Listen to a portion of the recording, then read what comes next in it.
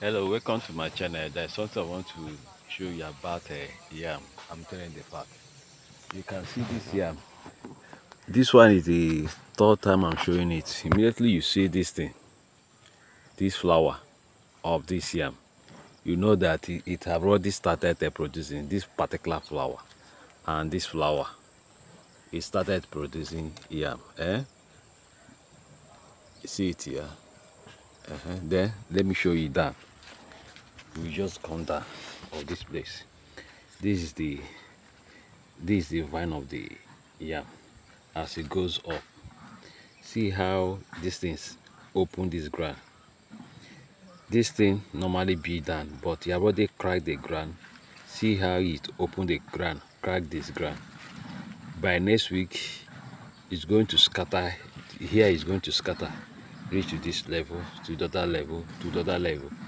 Like i believe that this one is about two to three big yams inside.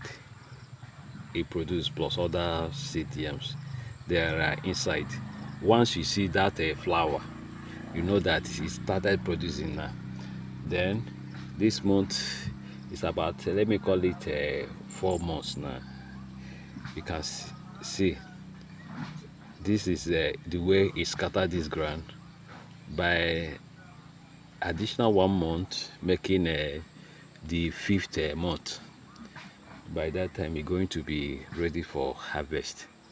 And you are going to see how here we open. The only thing you have to do is that to use sand to cover it but the yam is not showing. That's why there's nothing i can do to cover it. Let me leave it like this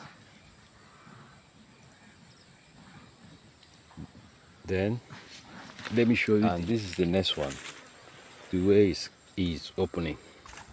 This is the vine straight to this level. You have seen it. Hmm? and this is the flower. This is the flower of it. Then see the way it opened the ground. See it here? And it all to this side then let me show you the next one. You have seen the next one. The way it's open. This one is a very good variety. You see the way you open the ground?